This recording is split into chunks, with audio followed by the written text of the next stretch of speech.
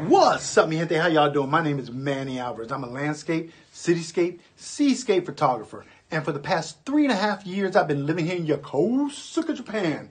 And I thought to myself, what better way of showcasing my work than through YouTube, right?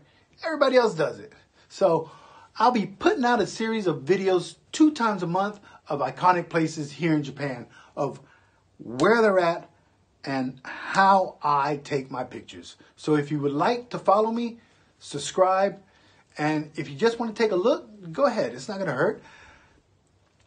Uh, so here's my video.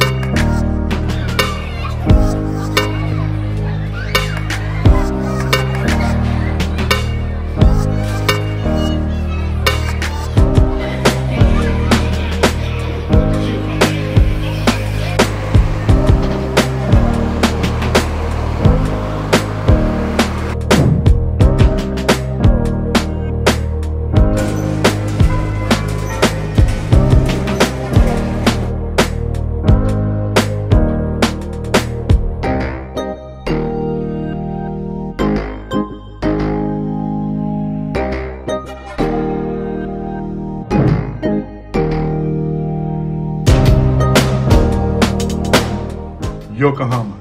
Easy access from the Tokyo train station. It's only a 52 minute ride.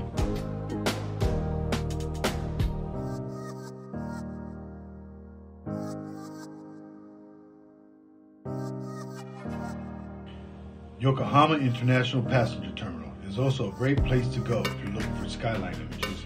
Best time to come are on clear days, nights, winter and autumn, and early spring months when Fuji can also be seen in the background of Yokohama. My second place of choice, 273 meters high. And you now know how much I hate heights.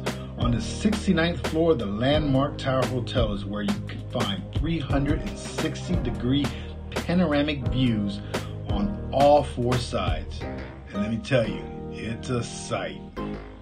My third choice is right underneath the Landmark Tower Hotel, only a stone's throw away. The Nippon Maru, a training ship built in 1930 for cadets, is on display in the Minato Mirai Area 21. This ship was used for 54 years and was retired in 1984. The wedding chapel of the Minato Mirai Area 21 makes a scenic backdrop with roller coaster and all. Thank you for viewing and give a thumbs up and like. And remember, if you like the video, subscribe because there's many more to come. Thank you very much.